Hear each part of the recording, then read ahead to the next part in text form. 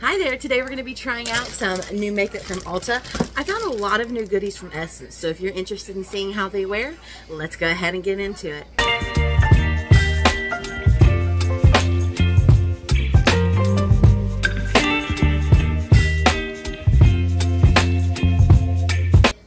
Okay, I've already got my Milani eyeshadow primer on. For eyeshadow, we're going in with the latest release from ColourPop, the Precious Metals palette. I love it. There's nothing bad I can say about this. I use this probably on the daily now.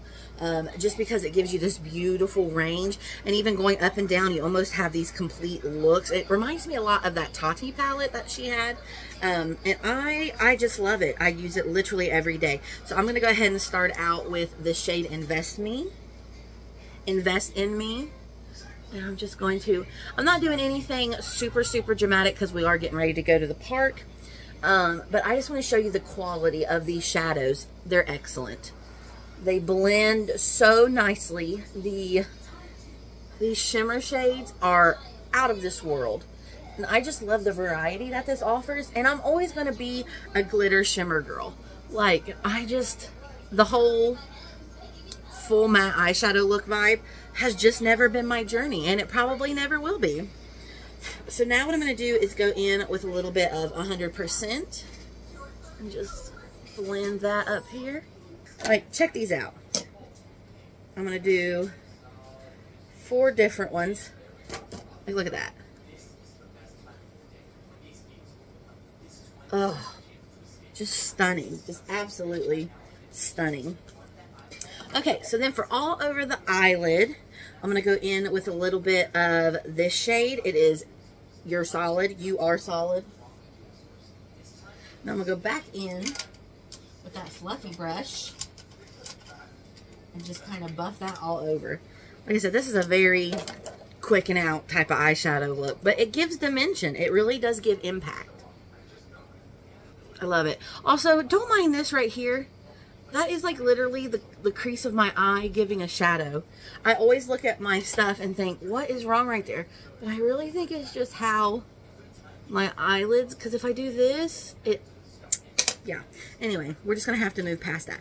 Okay, so for my eyes, I'm going in with Not Basic. Oh, so pretty. I keep forgetting I don't have a mirror. And I'm just going to pop this all over. Then, I'm going to take a little bit of glitter glue right in the center. And I'm going to go in with just a little bit of a lighter color. I'm going to go in with Get Your Coin and pop that right there. Now I could always darken up the outer corner. And if I did, I would go in with Lucky One. Just tap that color in. Go back in with the blending brush and make sure everything blendy. And voila. So now, the other thing that I have been doing, and, ooh, I just threw that. I don't know where that went. Okay, this is what I've been doing, and I have really been enjoying it. I've been using this, this NYX Vivid Rich Metallic Liner, and going right up under my lash line. I think this is called tight lining. I'm not sure. Like, just look how much fuller and like almost more vividly blue my eyes look once I do that. Again, this is a metallic liner from NYX. This is Smokin' Topaz.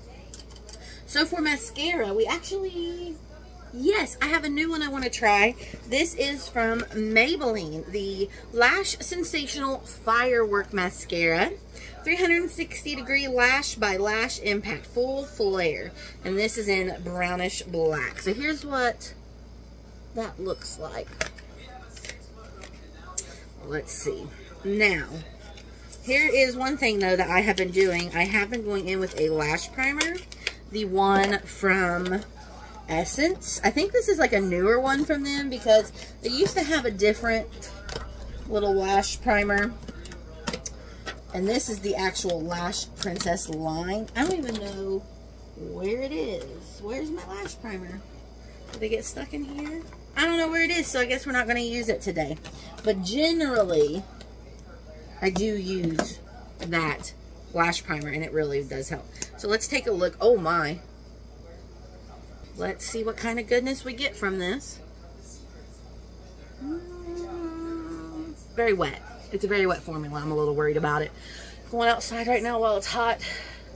Mm, I don't know. It's really wet and I'm almost scared to go back in with another layer because it already almost feels a little bit heavy. I mean, it's it's wet. Like, I don't know. I'm not a super fan of the consistency so far.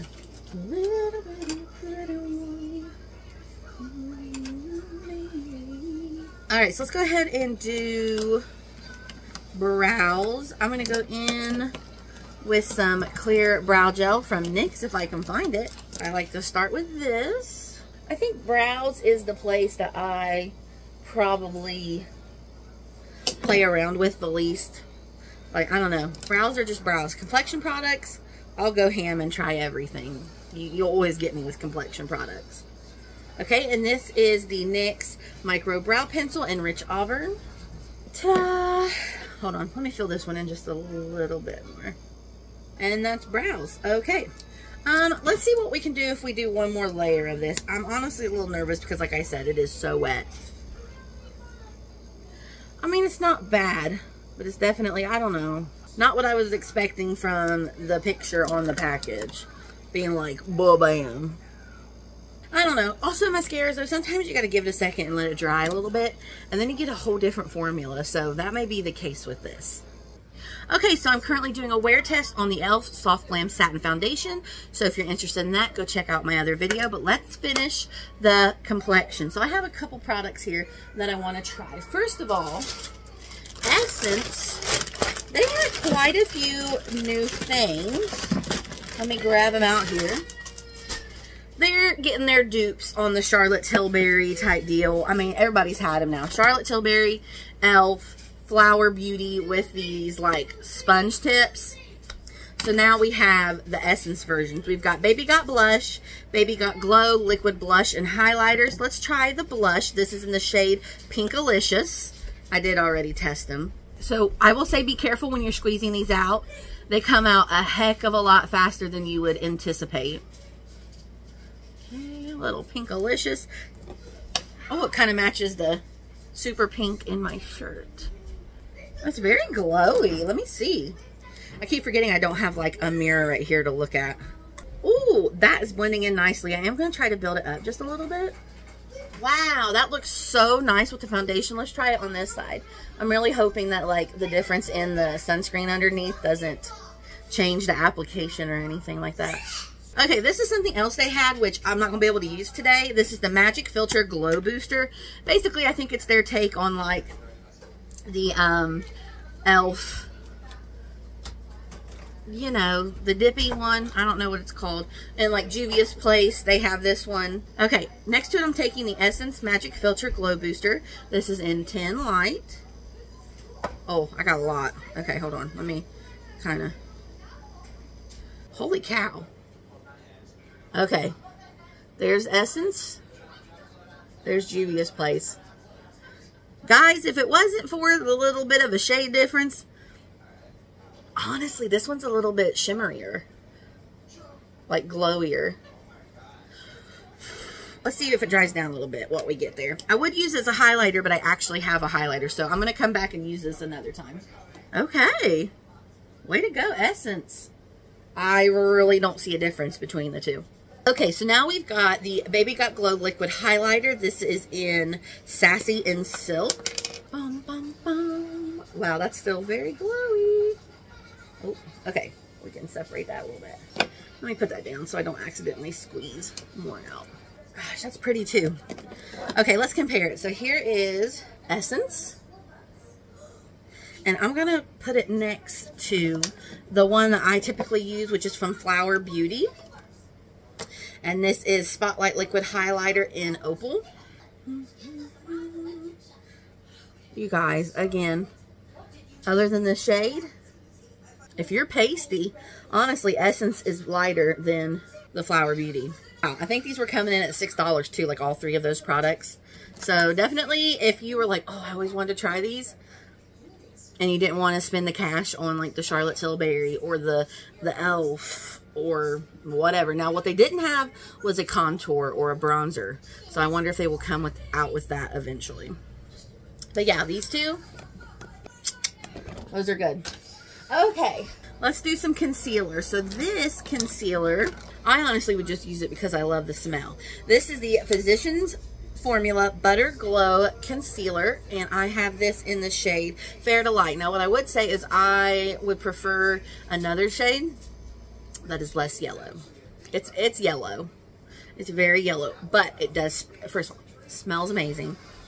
It's got that, I'm on vacation smell. Um, but it spreads very far, which isn't a bad thing. But just be mindful of that when you're applying because holy moly, it spreads.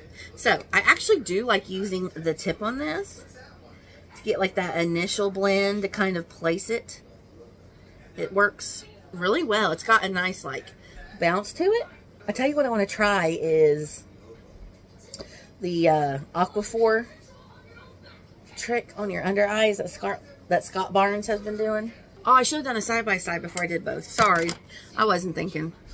But it is good. It really does give a glow to your under eyes. And I like it, except, yeah, butter glow. It's, that's exactly what it does.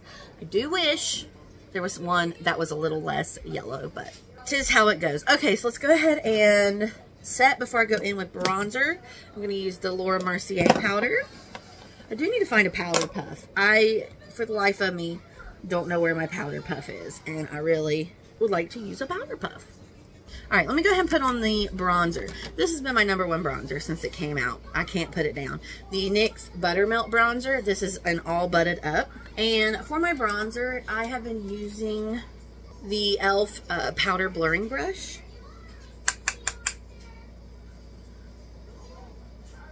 Like, do you see how just absolutely gorgeous, gorgeous, gorgeous this bronzer is? I love it.